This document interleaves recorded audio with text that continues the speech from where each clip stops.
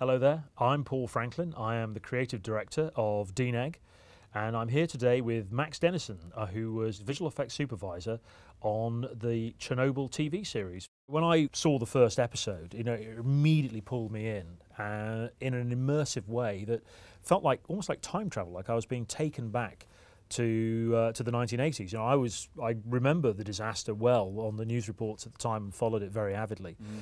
and it gave an incredible sort of uh, front row uh, experience of uh, of the events at the time.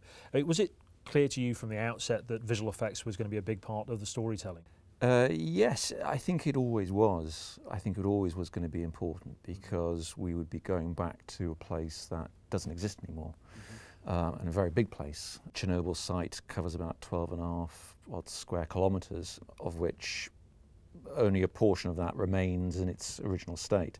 So I think there was always going to be visual effects in the in the show, but the story is about people. It's about the intimate little stories of people's lives, how they're affected by it, and so our job really was to um, create an environment for those people.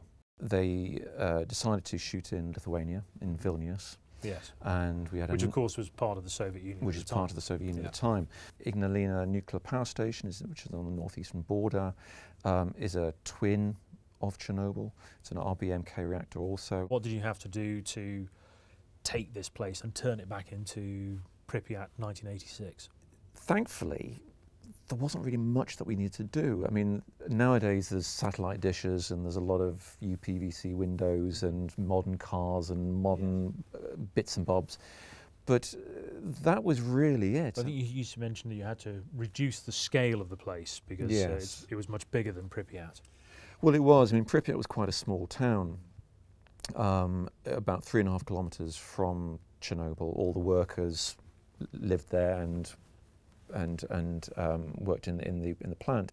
Fabijoniškės is part of Vilnius, and you've got the whole conurbation of uh, Vilnius all around it. So one of the things that we had to do for a certain number of shots was really to bring the the outlying forest, because Pripyat was in a forest, yes. bring that forest back in. So we had to cut away an awful lot of the background chatter, and so we made we made it feel much smaller. So you'll, what you'll see is beyond a certain point, it will go off into forest. I mean, one of the things also that strikes me is that uh, watching the show is the restraint that's shown by the by the filmmakers. That, in general, I think characterises a type of filmmaking which I think we've seen before in feature films. You know, you think about the work that we did on Dunkirk and on uh, First Man recently, where there's a sort of documentary level of realism to it uh, and it's unadorned. It's mm. not. It's not the kind of large-scale visual effects work we associate with big action movies or science fiction films. Yes, yes. But I think this is the first time I've seen that documentary level of realism brought to a drama in this way. And it was was that something that you did you feel it was going to be like that from the outset? I think we felt that it, it had to reach that level. Mm. I think that was the goal. Um, I think if we if we hadn't, it wouldn't have been as successful for us. No. I think there was always a, an understanding that we had to reach that goal. And again, it's important to remember that, you know, Craig had done a huge amount of research. This is Craig Mazin, Craig the writer, Mazin, the writer, writer. producer.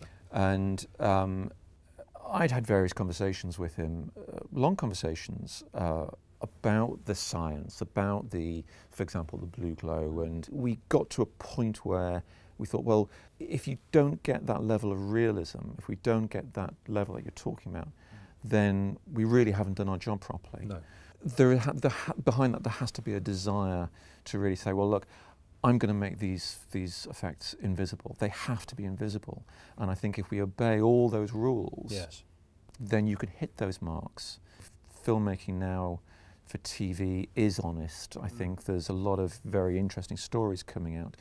Um, and I think there has to be an honesty with, with the visual effects as well. Visual effects is, is, is, is another character in the show.